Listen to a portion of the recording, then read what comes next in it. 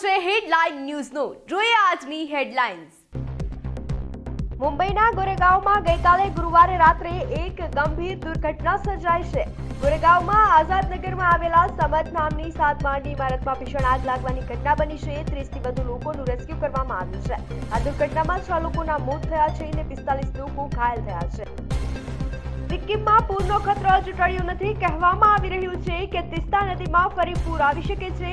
અધિકારીઓએ ગુરુવારે માહિતી આપી હતી કે લહનોક સરોવર પર વાદળ ફાટવાને કારણે તિસ્તા નદીમાં અચાનક પૂરના કારણે સર્જાયેલ વિનાશમાં અત્યાર સુધીમાં ઓગણીસ લોકોના મૃતદેહ મળી આવ્યા છે. રશિયાએ યુક્રેનમાં કરેલા અચાનક મિસાઇલ હુમલાથી છ વર્ષના બાળક સહિત પચાસ લોકોના મોત થયા છે.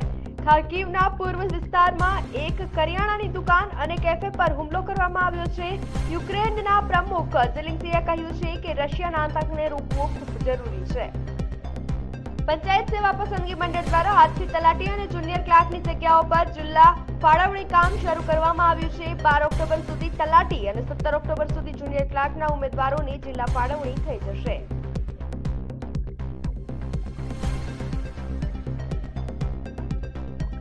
સોમનાથ જિલ્લાના ખેડૂતોએ મગફળીને બજાર તરફ લાવવાની શરૂઆત કરી છે. બજાર મગફળીનો એક હજારથી બારસો રૂપિયા સુધીનો ભાવ મળી રહ્યો છે. ટેકાના ભાવે સરકાર દ્વારા મગફળી ખરીદવાની પ્રક્રિયા માટે રજીસ્ટ્રેશન પણ ચાલી રહ્યું છે.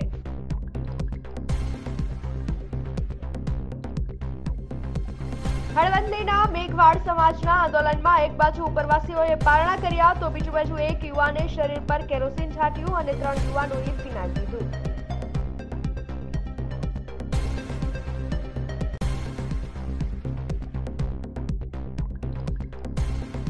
કાંકરેજ મામલતદાર કચેરી ખાતે ફરજ બજાવતા કરાર આધારિત કર્મચારી લાંચ લેતા રંગે હાથે ઝડપાયો હરેશ મગન બારોટ. મામલતદાર સાથે લીઝમાં આવી દંડ ન આપવા માટે માંગી હતી લાંચ.